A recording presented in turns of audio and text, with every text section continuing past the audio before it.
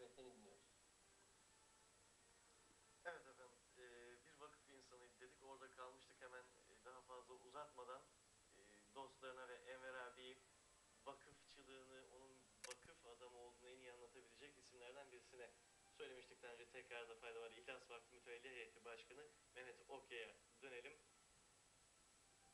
Bülent Arınç biraz önce konuştu. Bülent Arınç'ın o konuşmasında Enver abiyi anlatmasında bile Ankara'da Abdülhakim Arvasi Hazretleri'nin bulunduğu, kalbinin bulunduğu noktada da bir vakıf vardı. Orayı da yaptırmış Enver Bey dedi. Enver abi hep veren eldi.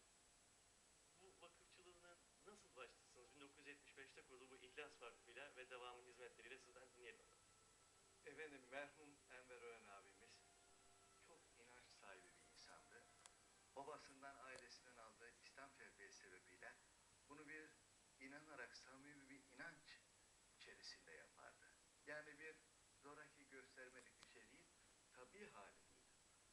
Merhum babasının vefat etmeden evvel nüfus cüzdanına yazmış olduğu oğluma vasiyetimdir yazısı sebebiyle orada üç madde halinde merhum Enver Ören abiye e, vasiyetini bildirmiş. Birincisi beş vakit namazını hiçbir zaman terk etme. İkincisi mutlaka bir üniversiteyi, fakülteyi bitir. Üçüncüsü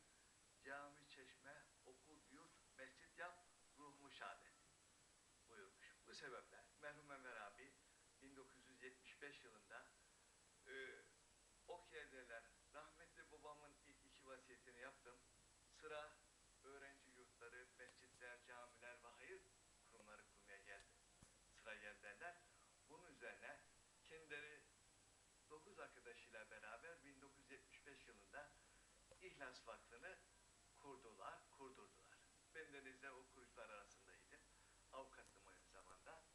Ee, vakıf senedinin e, kabul edilmesi ve resmi gazetede ilan edilmesi tevafuken 10 Şubat'a denk geldi. Yani merhum Enver abimizin doğum günü aynı zamanda İhlas Vakfı'nın kuruluş efendim günü olarak aynı güne tevafuk etti, tesadüf etti, denk gelmiş oldu. Bu sebeple biz hem Enver abimizin doğum gününü hem de vakfımızın kuruluşunu bu şekilde zikrederdik. Kendisi e, ilk zamanlar e, ülkemizin çeşitli yerlerinde birçok camiler yaptırdılar. Türkiye Gazetesi çeşmelerini yaptırdılar. İstanbul'un dört bir tarafına. Birçok okullar yaptılar, yaptırdılar.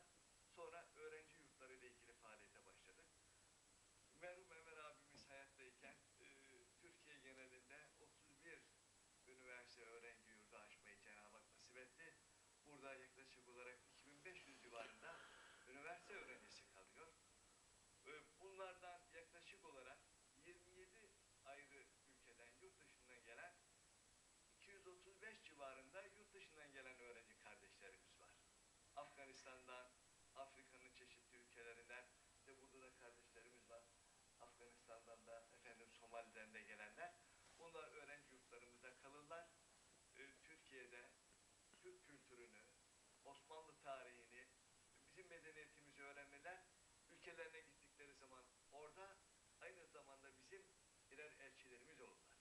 Yurt dışında da yine mezun olan öğrencilerimiz vasıtasıyla Afganistan'da 10 öğrenci yurdu açıldı. Kazakistan'daki